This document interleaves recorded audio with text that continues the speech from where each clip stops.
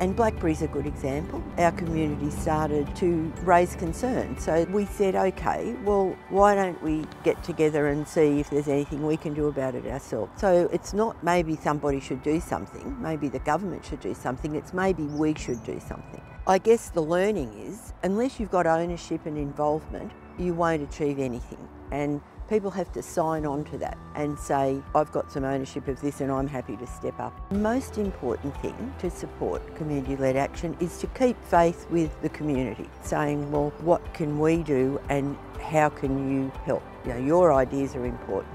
If you have a workshop and you've asked people to give their time, if after the workshop they never hear from you again and nothing ever happened, be lucky to ever get them involved in anything again.